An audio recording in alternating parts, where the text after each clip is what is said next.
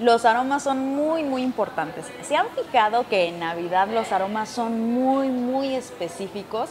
Sí, sí, sí, la cena de Navidad, el ponche, y ya nada más de oler eso.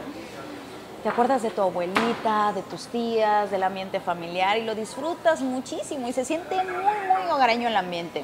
Bueno, pues ahí les va un tip. Si tú quieres vender una casa, han dicho que pongas a hervir canela o que pongas a hornear galletas para justamente generar ese ambiente de hogar y vender esa casa. Si tenemos ese tip como mm, a lo mejor como personas de bienes y raíces, ¿qué pasaría si ponemos un aroma que te motive para despertar todos los días de buen humor, para estar más tranquilo?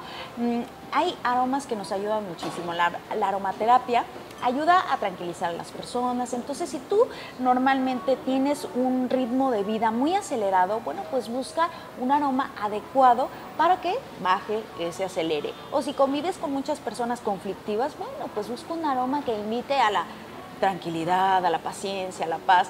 Hay que ayudarnos de todas las herramientas que tenemos a nuestro alrededor y si son ricas y huelen bien, qué mejor. Los saludos amiga Adriana Macías.